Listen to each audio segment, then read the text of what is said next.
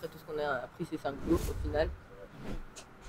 Moi, je trouve que c'était vraiment hyper intensif en fait la semaine. On a fait plein, plein, plein de chouettes trucs, plein d'exercices, plein de euh, mise en pratique et tout. Et j'ai appris plein de choses.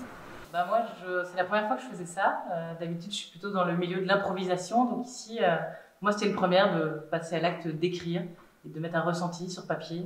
Non, euh, moi, ce que j'en retire, c'est. euh, J'étais un peu plus à l'aise pour, pour écrire, peut-être. Mais euh, après, tout ce qui est scénique, là, j'ai beaucoup appris. Les duos. Écrire un texte en duo, ça j'avais jamais fait. C'est kiffant, vraiment, c'est très très Ouais. chouette. L'intelligence collective, comme ça, qui peut se mettre sur un, un papier. C'est chouette. Et euh, ce qui était cool, c'est que les animateurs, je trouve, s'adaptent à chaque fois à, chaque, à l'univers de chacun qui est hyper euh, varié, Différent. hyper différent, qui donne des conseils hyper euh, judicieux. Moi, je suis d'accord. Mon ressenti, c'est qu'on a rencontré de belles personnes, bienveillance euh, très agréable.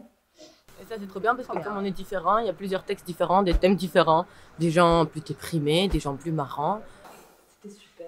Enfin, je trouve qu'il y avait un lâcher prise du coup qui était énorme. Et euh, de, de découvrir euh, tous ces univers féminins, c'était juste super. C'était aussi pour ça que je venais, c'était rencontrer d'autres univers.